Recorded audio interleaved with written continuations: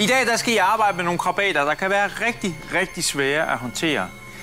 De kræver i den grad omhu, før de bliver gjort klar til servering. Det, I skal arbejde med, det er Jeg ved, om det kan være levende hummer.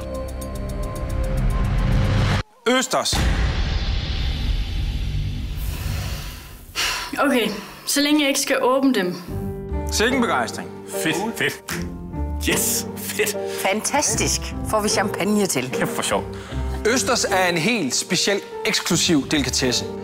Man kan faktisk sige, at østers er det tætteste, man kan komme på at spise solen. Det er en lidt overvurderet snoppe fødevare, som er alt for dyr. En østers, den skal være ren, den skal serveres levende, den skal dufte af frist hav. Ved den mindste bilugt, så skal den kasseres. Kasper, hvordan har du det med, at I skal arbejde med østers i dag? Pisse lækkert. Jeg har aldrig prøvet at åbne en østers før, så det skal nok blive godt. Der kan man bare se. Ja.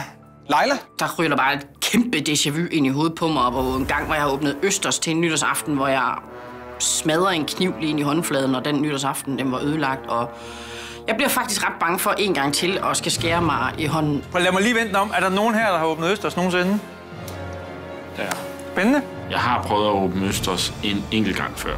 Det er super irriterende. Altså, øh, også man ved bare, det har han styr på. I skal altså åbne 12 østers og aflevere dem heroppe ved os.